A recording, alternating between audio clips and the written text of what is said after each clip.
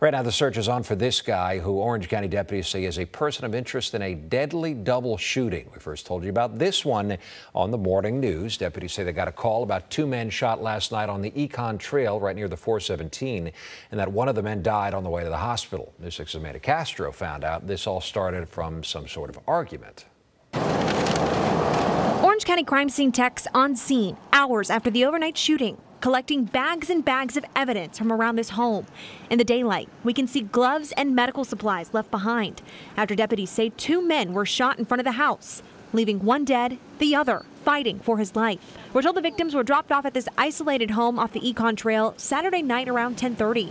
Detectives say the victims, both 33 years old, went inside. Then a short time later, there was an argument and they were shot. Deputies say several cars drove off before they got on scene. Ernesto Pinaroki is the closest neighbor. He lives a few blocks away from the home and says he didn't hear any gunshots. He tells us he sees people go in and out of the home all the time, adding he feels uneasy after learning about the shooting. It's not what I want to be living in. I've been here for 40 years and I never had any kind of problem. Deputies now asking for the community's help to get crime results, saying they're looking for Pedro Carolero, calling him a person of interest in connection to the double shooting. Crimeline is offering a $5,000 reward for any information on his whereabouts. In Orange County, Amanda Castro, News 6.